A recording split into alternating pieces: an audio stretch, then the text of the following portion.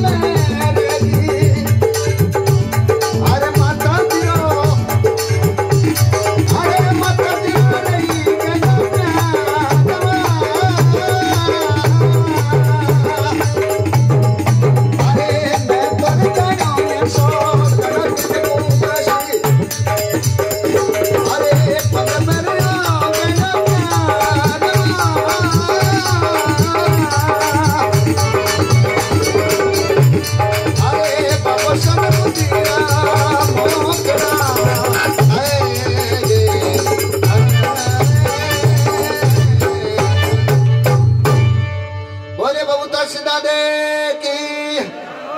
बोले श्री नारायण गुरु महा